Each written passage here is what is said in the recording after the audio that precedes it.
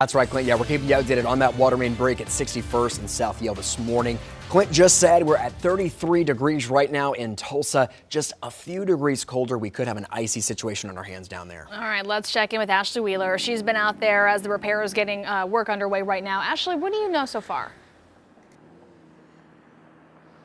According Travis, good morning. Crews have been out here overnight working on this water line break. It's already affecting a couple lanes of traffic, which you can see just behind me. Now, the city says it is a 12 inch water line, which happened late last night. And right now, it's not affecting any residents in the area or keeping any businesses from opening their doors, but it will have an impact on traffic this morning.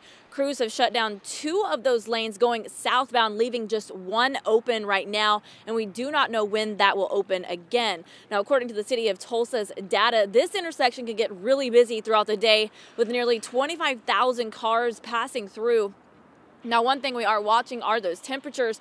We are close to freezing in some areas around here, which could turn this area into a skating rink if salt or sand isn't poured around the area where this water is pouring from. Now, we will continue to stay out here to bring you information to let you know when the water line is fixed and when those two lanes of traffic will be reopened.